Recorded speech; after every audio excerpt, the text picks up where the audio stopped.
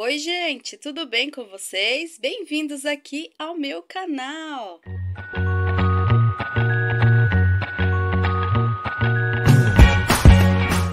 Pessoal, como é que vocês estão, hein? Tá tudo bem por aí? Muito frio aí, minha gente? Porque aqui tá gelado. Misericórdia, Frozen deu uma passada por aqui e não quer ir embora, não. Mas, gente, olha só, vim compartilhar com vocês aqui um kit de banheiro de duas pecinhas. Tô tentando engenhar o encaixe do vaso, gente, mas eu não tô conseguindo fazer a contagem de ponto certa para fechar, sabe? Mas se eu conseguir, né, fazer um encaixe do vaso, eu vou trazer para vocês também, tá bom? Mas não tô prometendo, tá, gente? Fiz aqui um tapete maior e fiz a tampa do vaso. Há muito tempo eu tava querendo fazer assim um tapetinho, vamos dizer, mais mais chique, né? Mais glamuroso, vamos dizer assim, e que eu pudesse estar tá usando também a base dele para estar tá colocando os fios peludinhos, né, gente? E aí vocês sabem, a gente pesquisa daqui, pesquisa dali, busca no Pinterest, busca no, na procura no Google, né, gente? Olhei muitas videoaulas também e vocês vão falar assim, nossa, mas tem, já tem videoaula. É, tem muita videoaula parecida, tá, gente? Eu tirei também ideia lá do canal da Elisa Crepaldi, que ela fez um tapetinho, é ternurinha, se eu não me engano, oval. Então eu peguei ideia de várias artesãs, né? Peguei ideias também de Pinterest e saiu esse meu tapetinho aqui, gente. Vim compartilhar com vocês, eu fiz ele todinho no barbante cru, e aí eu vou pesar as pecinhas, vou abrir, vou medir para vocês ver, tá? E dizer que eu já comecei a gravar a videoaula do tapetinho. Bem breve vai ter passo a passo aqui no meu canal dessas pecinhas, tá bom? Então eu queria pedir para você deixar seu joinha para mim aqui no vídeo, né? Deixa um joinha aí pra mim, avalia meu vídeo e eu quero convidar você que não é inscrito a se inscrever aqui no meu canal, ativa o sininho aí no modo todas, né? Só assim o YouTube entrega para você toda vez que eu colocar um vídeo novo aqui no meu canal. Gente, eu, eu acho que eu vou mostrar para vocês as peças primeiro, porque sabe que tem muitos curiosinhos, né, que empurram o vídeo lá para frente e, e aí perde as informações necessárias, né? Então eu vou mostrar para vocês as peças abertas e depois eu vou pesar e no finalzinho eu vou deixar passando um videozinho curto que eu fiz lá no banheiro da casa da minha mãe, tá bom? Então segura emoção, gente. Eu vou abrir aqui as pecinhas para vocês verem. E minha gente, olha só então o tapetinho, a gracinha que ficou. Eu fiz ele todinho no barbante cru, minha gente, porque eu queria uma peça mais rústica, né? Apesar de que aqui no meu ateliê quase não tem procura por somente no barbante cru, mas eu quis arriscar aqui, ó.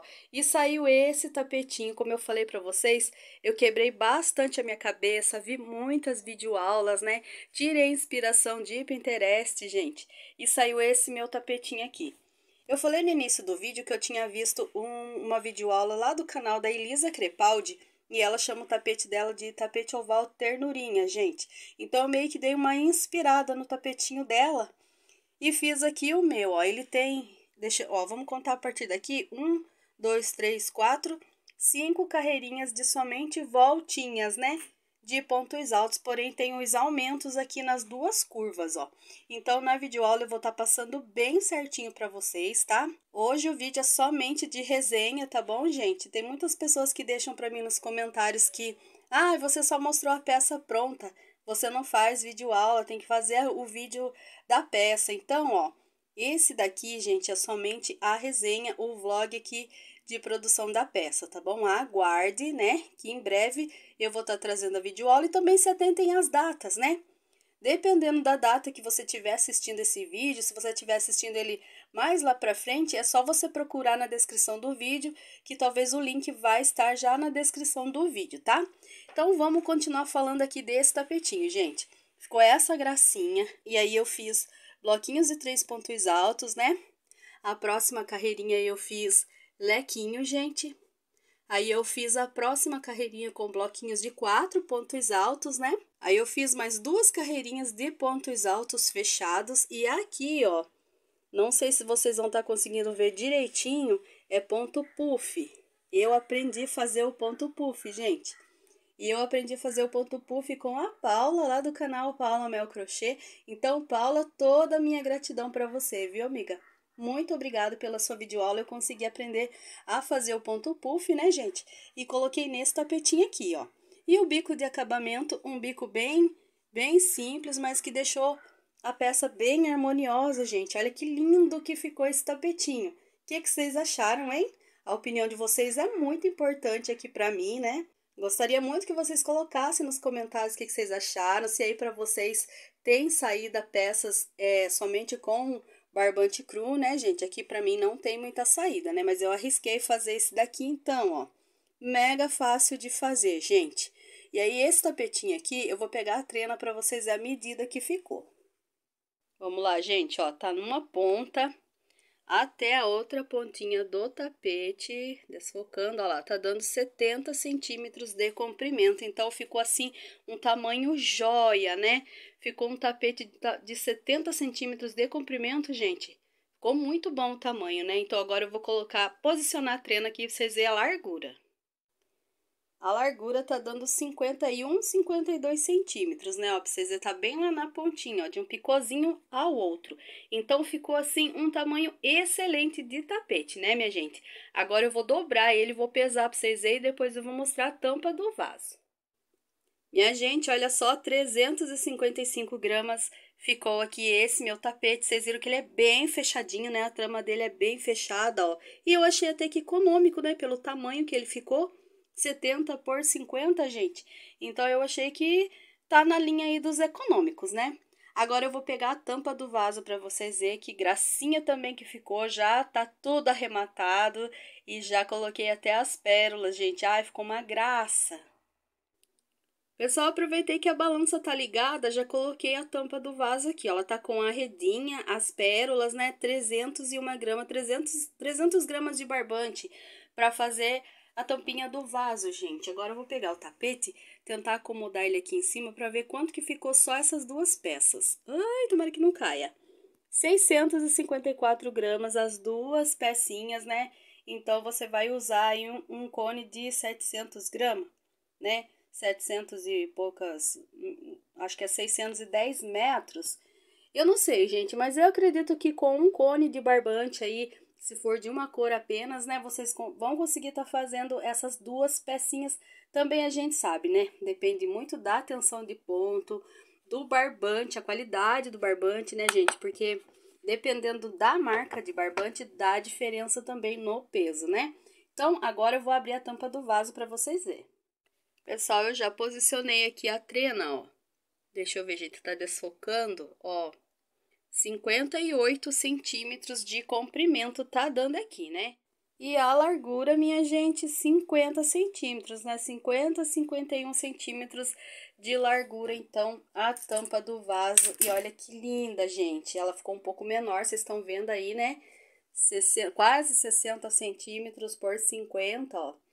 Tem também o detalhe do pontinho puff. É a réplica do tapetinho, né, gente? A réplica menor do tapete.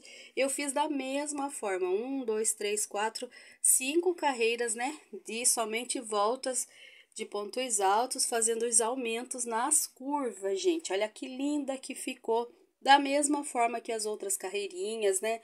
O pontinho puff para dar todo um charme aqui no tapete.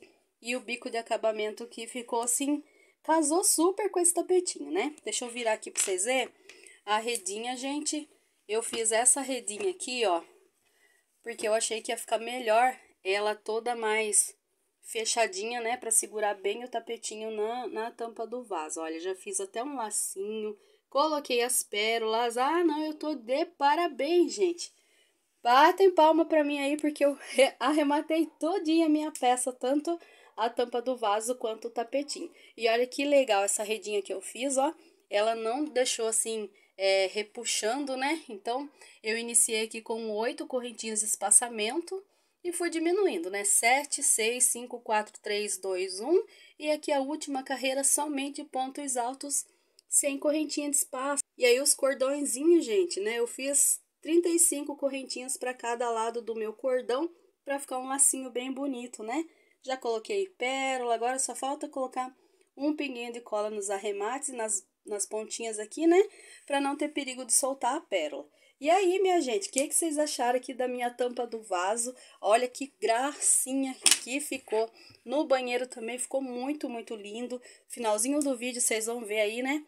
Um videozinho bem breve que eu fiz no banheiro. E também lá no meu Instagram vai estar tá as fotos, tá bom, pessoal? Ó, minha gente, aproveitei e já peguei o tapete aqui para dar uma arrumadinha, né? E deixar já as duas peças juntas, ó. Como eu tava falando, as pecinhas também vão estar foto lá no Instagram, tá bom? Se você ainda não me segue, quero convidar você para me seguir lá no Instagram, que é o arroba crochê da Gil oficial.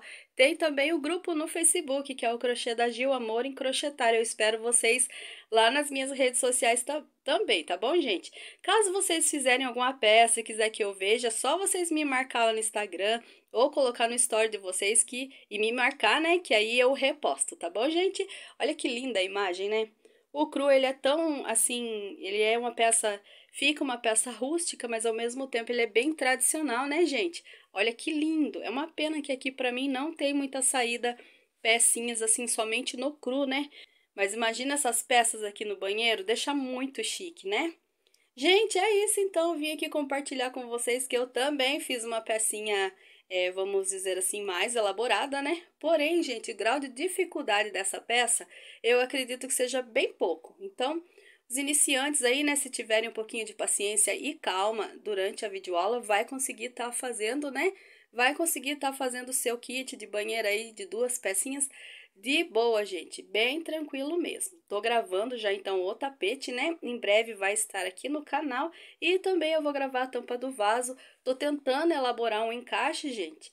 Se eu conseguir fazer o encaixe, aí eu trago a videoaula para vocês também, tá bom?